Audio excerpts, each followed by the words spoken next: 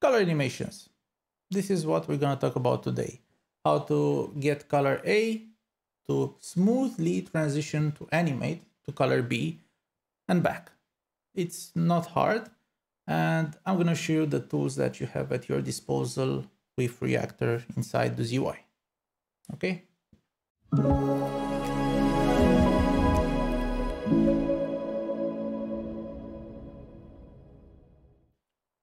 So I'm inside Unity and let's just prep the scene for a simple color animation. All right, so I'm gonna create a image. This will be a quick tutorial. Let's set the canvas to screen space camera just to have it here. Let's enter this image and let's update the event system to the new input system. All right. If you want to add a color animator, animator, just add component, write color, and here you see all the animator, or actually all the components that are available in your project for color animation. You have a simple color animator. This is the most basic of all. Then you have a text color, uh, actually no, a UI container color animator and UI selectable color animator. These are some more advanced components. I'm going to show the UI container one in this video. And you have three color targets. You can add other color targets for sprites, for materials and so on and use these animators. But we're not to cover that topic now. We're just to use them and see how they work. When I'll, I'll, add a color animator here on this image, you will see that an image color target will also get added. So let's click and right away an image color target has been added. And the color target for this color animation is this. You can also change it and I'm, I'm going to show you later how. But let's dive in the animator. The previous video showed you how to, uh, what settings a UI animator has. And of course, you have your animation tab where you have your animation settings and your callbacks. The callbacks are the same. Behavior on start and on enable, they are the same. You can play forward, reverse, set the from, the, the from value or the to value. Again, you can that here. And of course, you can set an animator name. And I'm going to say um, special color, whatever. All right. And in the animation, the color settings are the one that differ, but start delay, duration loops, loop delay, play mode, ease mode, ease or animation curve, and also the eases are all the same. They work in the same way. Let's focus on these settings. So if you say color from current value, it's not really okay. You should go with start value. And the start value is the value that you've set here in the editor and I'm gonna use let's say a yellow something like that let's use this yellow for now because it's um, a complementary color to the awful blue from the main camera. And here we have some settings. We can we, we can set a hue shift. The hue is this one is the one that goes let's go for HSV hue saturation value although we use the HSL uh, model because I think it's better than this one. All right, so we can change this, right? We can subtract or we can add hue. So let's say if I say 180, it will be around here because the, the, the, um, the hue goes from zero, from zero to 360. It's in a, in a circle. It's actually a cylinder, but that doesn't matter. So let's say minus 180, it should be a uh, complementary color. Yeah, something like that. So it's around here. Yeah. So let's just enter play mode. Let's set the duration 4.5 seconds. Let's just play. And you will see that we can animate, we can smoothly, smoothly animate from one color to another. Just let's see the animation and this is how it looks. I'm gonna zoom in so you can see the color better right here. So let's go back and yeah, that's how it, it works. Of course, you can set a different hue and it will change. You can also change the saturation. I selected this color specifically so we can add more saturation to it. So let's go with maximum saturation and back. Or you can desaturate. Basically, you're getting the color out. So we'll, we'll um, have a gray color. So let's play. And this way you can set some items. Let's say if they're disabled, you can set them to be gray. And when they get enabled, you can just uh, reverse the animation and set the color. You can also do that. It all depends on your particular use case. Another thing that you can do, you can add, you can shade or tint. Shade adds black, so it goes darker. Tint adds white, it goes um, to a lighter color. So lightness does that. If you say minus, I don't know, 20% here, you're adding black. So we'll have a darker color. Let's play. There you go. And let's reverse. If you go crazy and you say minus 100%, you'll have full black because you add too much black. Usually around, uh, it actually depends on the color. Let's say minus 50%. Yeah, you can also see a preview here. So let's say minus 30%. Yeah, this should be obvious. And of course, let's uh, go with tint. So we are adding white to the color. And let's go plus 24%. And it's whiter. Or maybe plus 15%. Again, it's whiter. If you say 100%, it will be pure white because you added too much white. It's very easy. The last one, the, the last thing that you can animate is the alpha offset. Notice that the, their, their names are offset. Basically, you're adding or subtracting from your initial color. This way, you use a, um, a base color and you add changes to it. All right. So let's say minus 20%.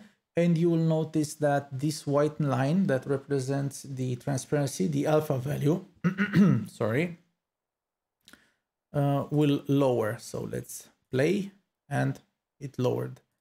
And let's say minus 100%, basically it will be invisible because it will be fully transparent and we can reverse it. Okay, uh, some other crazy things that you can do. You can say custom value. So I like it to go to a red color. You can also do that. You can say ping pong ping pong goes from color from A to B and back. So basically it will go to red and immediately back to yellow. This is very useful if you want to show something. Let's say uh, 0.2. So this is very fast. And let's say uh, six loops. And this will be something like that. Very quick and easy. If you want to get the attention of the user or the player, depending on what you're building, hey, look here we can also use a spring, let's say zero loops, 0.5. And again, this will be a bit more crazy. Or maybe a shake animation. And for a normal, a normal color, let's say you can also set an animation curve and make it take longer before it goes to the final color. So something like that. And back or maybe uh, you wanted to have some uh, something like this before it settles in. So you may want something like this. It all depends on your use case. So these are the components for a color animation. Now let me show you some use cases so you can see why it's useful. I'm going to create a container so this would be my container. Let's make it as big as the screen. Why can't I see it? All right. And I'm going to add a UI container component. Then right away I have a UI container. Let's enter play mode. As you may know from the previous videos, a UI container has a show and a hide. So I can uh, hide and I can show. Let's also disable the game object and you can see it here that it gets disabled, right? All right. Actually, I'm going to leave the game object. Now I'd like to add some animations to it. let's say I want to darken the, the background when this container is shown. So I'm gonna create a image. I'm gonna make it as big as the screen. I'm gonna make it dark and maybe, how do I want it? Something like that. Let's say 50% dark. So this is my image component. I'm not going to use the color animator because we have some specialized, some more advanced uh, color animations that are directly connected to show and hide. Uh, basically, I'm saving you a lot of work just by using this component. So I'll say add component, color, and I'll say UI container color animator. This is just the same as the color animator, the basic one, but it's connected to the UI container to show and hide in a more complex way. Again, it uses a color target. Let's just sort this out. Let's put it here. And you have a show. This is one color animator and hide the second color animator. And let's look into it. So when you show, I would like to have transparency zero and then transparency is the, the offset, right? And for hide, I'm just gonna reverse this. So I'm gonna say from the current value, whatever value that is, to zero transparency. And that's it. This will be my background. Right? So let's say I want my container to be hidden instantly when uh, the game starts. Just gonna press play and the background should be invisible. And it is. I'm gonna press show and now I have a way to darken the animation and hide. Of course, we should also not disable this, so show and hide. Should disable this for now. So let's enter play mode just so we can see the animation. So show and hide. The hide animation is very fast. I don't know why. Let me check it out. It's 0.3 seconds. Oh, yeah, because this should be at zero. Yeah, that's why. I didn't like that it wasn't a smooth animation, it was instant hide and we're not going so show and hide. All right, so you have this smooth transition. If you have something behind, let's say, uh, let's create another image. Where is it?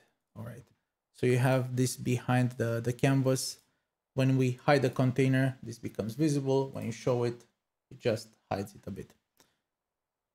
All right, another use case let's say you have a certain area or maybe something that you want to um, tell the user that is interactable. Usually this would be a button, but not always.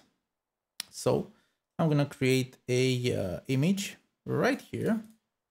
And I'm going to say um, info box, for example. And now I'm going to use a special, another animator uh, this will be a simple color animator. And let's say your initial color should be maybe this. And when you move your mouse over, let's say it will be a uh, green color. So let's say start value to a custom value. Actually, let's go with a hue. Yeah, let's, yeah, this is good. So it's just a hue animation. Let's enter play mode and let's see it in action. I think the container will hide. Yeah. So let's show. And when we play, this is how it, it looks, basically. All right, let's add some interactive, interactable features to it. When the pointer enters its uh, bounding box and when it exits the bounding box, let's say I want to play the animation from A to B, so from uh, blue to green, when the when the pointer is inside and when the pointer exits I want to reverse the animation. You will see that it is a few clicks away.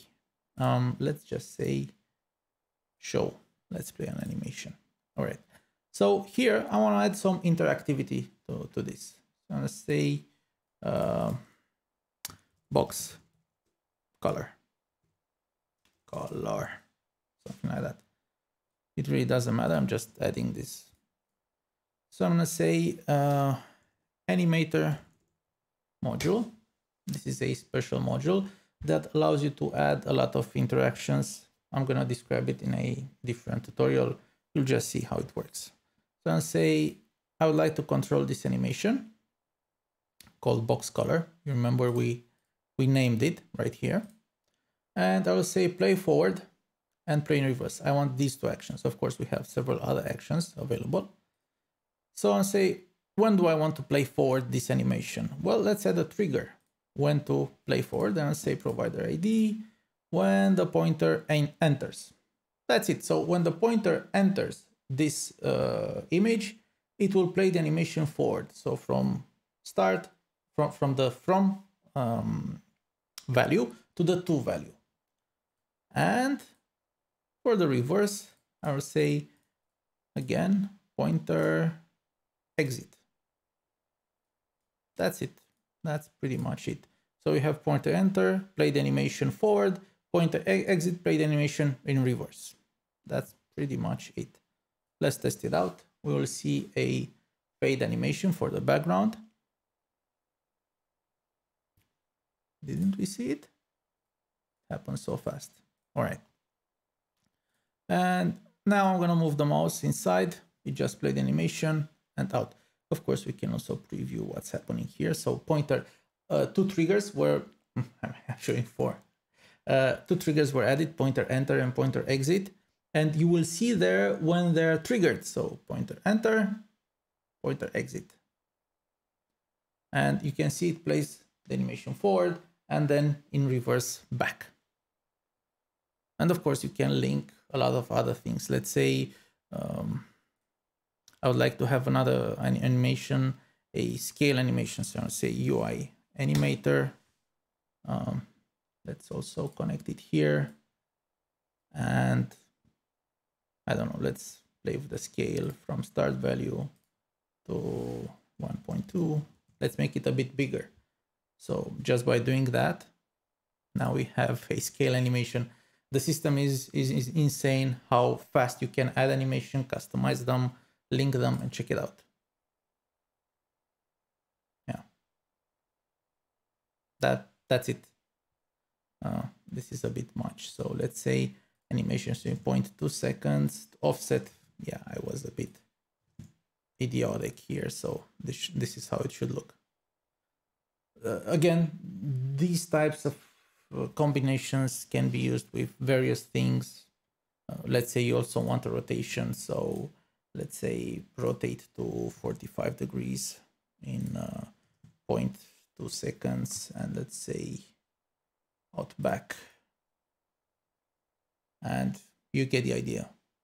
So I'm just messing with things. So these were the, the color animations. They are also used for buttons. Um, let's add a button. Let's add a simple button from the UI menu. Um, simple. Yeah, here we have a simple button. And is it centered? No, it's not. And here it uses a uh, UI. Ah, there we go. We have a color animator. Let's just change this color to a green. And here we have one, two, three, four, five color animations, each animation set for the button state. So this is a UI selectable color animator. If we have, if the UI container color animator has two states, show and hide. So basically you have two animations for, uh, you're controlling two color animations. Here you're controlling five.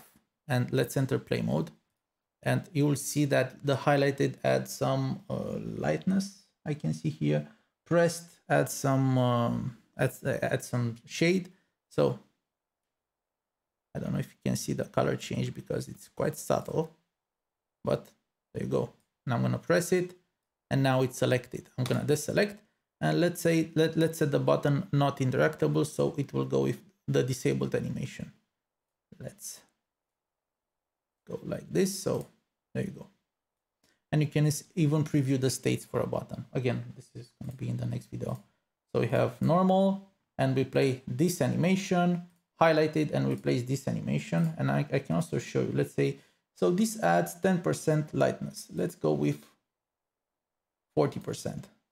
All right, so normal, and this is now the highlighted state. Pressed, selected, and disabled. So that's why color animations are important because they make your um, they make your UI look a lot more polished and the, the, the, system will help you create it very fast. So highlighted, pressed, normal. And of course, I can also control it with a mouse or even with touch. I have a touch sensitive screen, so I can click it with a finger. Maybe press, uh, yeah, let's go like that. Yeah, I can also uh, click enter, actually return, and the button will animate as expected, as if something is hitting it, not the mouse. The mouse is um, here. Yeah. All right. So that's it for the color animations. Uh, I hope I was explicit enough. Uh, I was clear enough on, on, how how it works, and that you you you put it to good use in your projects. All right. Thank you very much. See you in the next video.